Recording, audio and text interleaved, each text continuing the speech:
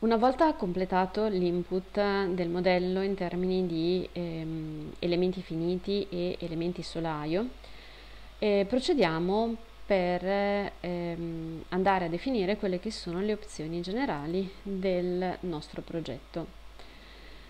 Eh, iniziamo andando a definire una, ehm, una, una proprietà molto importante che sono appunto gli impalcati. Gli impalcati eh, sono ehm, degli, degli, elementi eh, che raggruppano le entità eh, posizionate ehm, alla stessa quota altimetrica. Nel caso della presente, della presente struttura, gli impalcati da definire saranno tre, ovvero quello relativo alle fondazioni a quota 0, quello relativo a quota 300 del primo piano e quello in copertura a 6 metri. E spuntando l'opzione da inserisci tolleranze automatiche possiamo includere eh, all'interno del gruppo di ciascuno dei nostri impalcati eventuali nodi che si trovano eh, a metà strada tra una quota e l'altra. Gli impalcati in CMP hanno eh, diverse funzioni ehm, tre in particolare. Possono consentire di assegnare eh, link di piano rigido.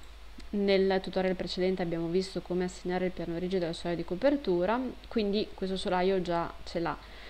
Invece il solaio del primo piano ancora non ha questo vincolo e lo diamo ehm, attraverso questo comando. Poi consentono di eh, applicare l'eccentricità delle masse per l'analisi sismica, come previsto dalle normative. Infine permettono di ehm, calcolare eh, il fattore θ, eh, così come appunto richiesto dalla normativa, per evitare eh, che la struttura sia eccessivamente snella e che quindi non possa essere affrontato ehm, lo studio in un campo elastico lineare. Quindi la definizione degli impalcati è un'operazione ehm, importante da fare prima di lanciare l'analisi. Confermo i dati premendo applica, quindi chiudo il comando. Le altre ipotesi di progettazione invece vengono imputate utilizzando il comando opzioni di progetto che posso avviare ehm, attraverso la corrispondente icona. Nella prima finestra posso mh, mm, inserire quelli che sono i dati descrittivi del modello, quindi eventualmente il nome, note sulle modifiche magari che sono occorse, committente, località, altitudine, ad esempio 60 metri sul livello del mare, longitudine 10,2 e latitudine 44 e 12. Posso inoltre specificare se il mio modello si trova in zona sismica e attivando questa opzione si vengono ad ehm, sbloccare altri comandi ehm, la cui funzione vedremo appunto in seguito. Qui intanto dobbiamo terminare l'input scegliendo la classe d'uso, in questo caso 2, e la classe d'utilità che per me sarà la media. Confermo i dati premendo applica e quindi passo alla finestra successiva che è quella che consente la gestione delle condizioni di carico elementari e fasi. In questo modello sono già presenti 8 condizioni di carico elementari, peso proprio, sovraccarico permanente, esercizio, neve e 4 condizioni relative al vento. Il comando che si trova nella parte inferiore consente di associare alle varie tipologie di carico assegnate ai solai la corrispondente condizione di carico. Normalmente di default il peso proprio andrà nella prima condizione di carico, il sovraccarico permanente nella seconda e il sovraccarico variabile nella terza, in questo caso. Qualora mh, mm, queste impostazioni, che valgono in generale per tutti i solai, non andassero bene nel caso di alcuni solai specifici, lo stesso comando si può trovare anche nel menu entità solaio e può essere assegnato ai solai che eh, hanno bisogno di un'attribuzione particolare. Anche in questo caso eh, premiamo il comando ecco. Il comando che vi dicevo è appunto questo, condizione di carico dal solaio e va appunto assegnato, va attivato e quindi assegnato ai solai con ehm, assegnazioni particolari. Eh, torniamo su opzioni generali per completare l'input, apriamo la finestra relativa ai parametri generali delle azioni del vento. Qui vengono definiti quelli che sono i carichi del vento, quindi si sceglie la zona, periodo di ritorno, categoria di esposizione, coefficienti di topografia, coefficiente dinamico, se um, attivare o meno il calcolo delle azioni del vento da circolare 2019 e in questa parte si vanno a definire quelle che sono le condizioni del vento, quindi sarà la condizione vento x più, y meno y più e y meno. Questa mm, parte va completata inserendo l'angolo che la direzione del vento relativa alla condizione di carico forma con l'asse globale x. Quindi in questo caso sarà 0, poi avremo 180, 90 e meno 90. Per quanto riguarda i parametri relativi alla base e alle quote ZE, possono essere definite, possono essere richiamate in automatico spuntando questi due parametri. Facendo applica, la dimensione del fabbricato eh, in direzione ortogonale alla direzione del vento viene aggiornata in automatico. I dati del vento non sono compiutamente definiti, rimane da assegnare ai singoli elementi su cui agisce il vento il coefficiente di pressione.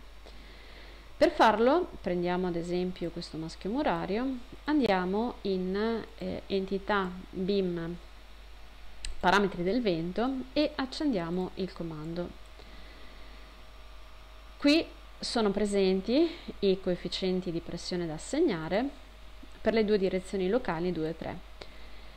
In questo caso eh, vediamo che l'asse mm, ortogonale alla muratura è l'asse 2, l'asse locale 2, quindi i coefficienti di pressione andranno inseriti in questa parte.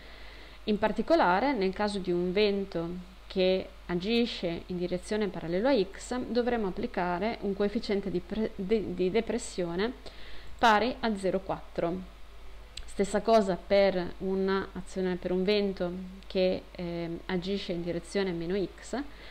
Per il vento che agisce in direzione x più andiamo ad applicare un coefficiente di eh, pressione meno 0,8 e andiamo ad indicare che la parete è di sopravvento. E infine per un vento in direzione y meno andiamo ad immettere un coefficiente di pressione 0,4. Completiamo andando ad assegnare. Ora possiamo visualizzare le pressioni del vento andando su visualizza carichi e scegliendo eh, carico da solaio, anzi scusate, prima occorre fare una giorna carichi da solaio vento masse, quindi a questo punto possiamo, si attiva la spunta su vento normale e quindi possiamo visualizzare le pressioni del vento che abbiamo appena inserito. Questa sarà eh, l'azione del vento nella condizione di carico 7 queste invece sono le azioni del vento nelle altre condizioni di carico. Chiarito questo aspetto, torniamo in opzioni generali del progetto e continuiamo a vedere l'inserimento dei, dei, dati. Eh, la finestra delle condizioni di carico non lineare buckling in questo caso, non, nel caso delle strutture in muratura, non è eh, necessaria Passiamo invece ai parametri generali per azione sismica. In questa finestra dobbiamo definire la classe del terreno, il fattore di struttura, scegliendo costruzione in muratura e costruzione in muratura ordinaria, edifici non regolari in altezza e regolari in pianta. Il fattore di struttura può essere diverso in direzione x e in direzione y, nel nostro caso lo prendiamo uguale. Scegliamo inoltre di fare un'analisi dinamica e per ora inseriamo un numero di mh, autovalori pari a 20. Fatto questo, se diamo applica, compare questo messaggio che dice che nel modello non sono ancora state definite le condizioni di carico elementari e sismiche. Andiamo quindi sull'apposito, sul comando successivo e generiamole con il comando automatico. Vengono definite condizioni di carico per lo stato limite di danno e lo stato limite di salvaguardia della vita. Questo perché la nostra struttura è in classe 2, quindi queste sono sufficienti. Come vedete ho eliminato l'azione sismica in direzione verticale perché per la presente struttura non è strettamente necessario. Di nuovo posso confermare i dati eh, schiacciando applica. Mm, in questa finestra vediamo in che, con quali coefficienti le varie condizioni di carico partecipano alla definizione delle masse sismiche e infine questo è il parametro relativo all'analisi di pushover che vedremo in seguito. Per attivare l'analisi di pushover ehm, occorre da parametri generali azione sismica andare a selezionare la corrispondente opzione. La prima analisi però che andiamo ad affrontare è un'analisi di tipo ehm, elastica lineare, per cui per ora lasciamo disattivata questa opzione. La definizione delle opzioni di calcolo eh, può considerarsi terminata. Prima di lanciare l'analisi mm, effettuiamo semplicemente due operazioni che ancora mancano. La prima consiste nell'assegnazione dei vincoli fissi alla base e andiamo a mettere per ora dei vincoli di tipo incastro. E la seconda consiste nel andare a svincolare uno de- a momento eh, flettente fuori dal piano eh, una delle due estremità dei maschi murari.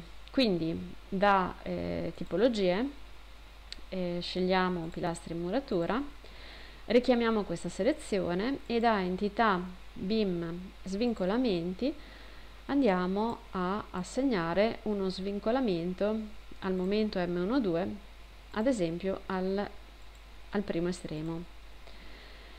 Questo fa sì che ehm, lo schema di calcolo delle azioni fuori dal piano eh, sia simile allo schema previsto, lo schema dell'articolazione previsto dalle norme, dalle normative tecniche del 2018. Fatta questa operazione è possibile procedere al calcolo del modello dal comando strumenti calcola.